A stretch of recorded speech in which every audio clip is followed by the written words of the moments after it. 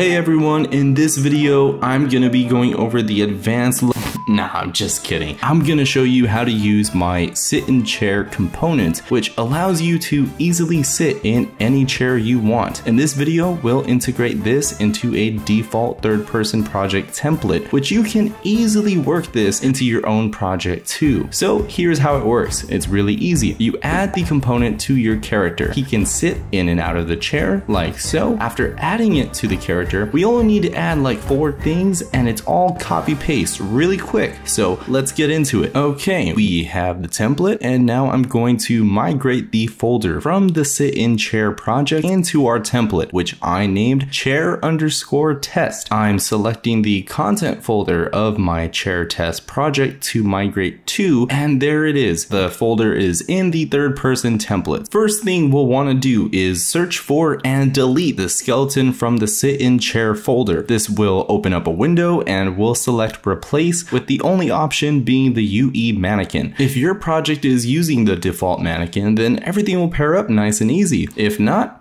uh, best of luck, buddy. Don't let the door hit you on the way out. I'm just kidding. You will need a retarget, which there are plenty of tutorials on how to do that, but I don't want to cover that here for the sake of keeping this short. Let's drag in a chair and rotate it. Open the character blueprint. Let's add the chair component to our character blueprint. Open the character blueprint from the sit in chair folder and copy the alternative input for interaction, which is the M key, and make sure everything is working properly properly. The character blueprint has the other logic for input mapping and taking care of crouching if your project has it. Feel free to look into that blueprint further. Next, we go up to the chair, press E. Wait, did did we? Oh yeah, we copy the alternative key, which is the M key. We press that and boom, movement is restricted. We can see the character frozen in place, sliding into the chair, legs fully erect. Okay, sorry, this was a fluke. Reach out to Epic for a refund. I'm just kidding, haha. so everything is working perfectly. The next thing we need to do is open the animation graph from the default project, go into the anim graph, and out of the state machine default, let's type default and connect the default defaults together into the output pose. Confused? Great! Welcome to game development. Next, open the state machine. And before we go further, let's also open the state machine from the sit in chair anim graph. Copy the sitting node and paste it into the same location in the third person template anim graph above idle slash run state. Then drag an arrow to and from the state and copy the condition from sits anim graph, paste it in the default anim graph condition, compile compile.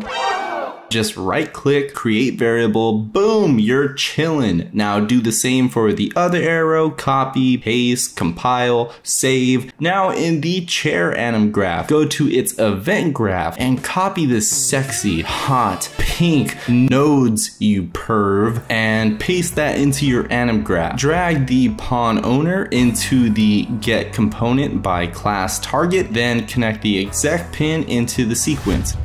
Compile, save. Now go ahead, take a seat. Yeah, you're welcome.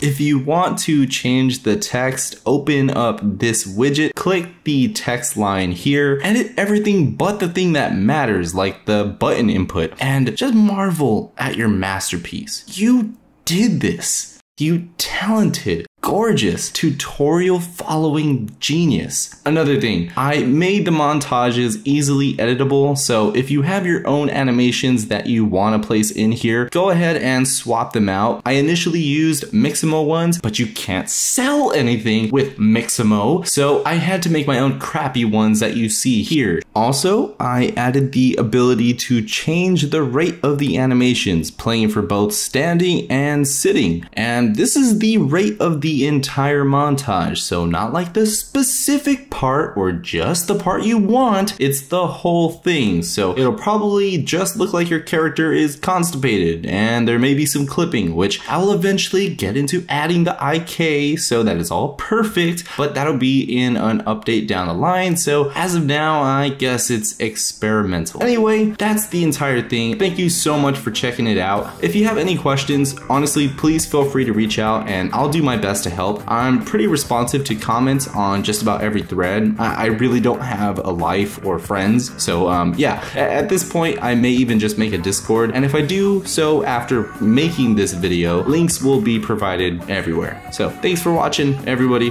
Uh, I'll see you later. Bye.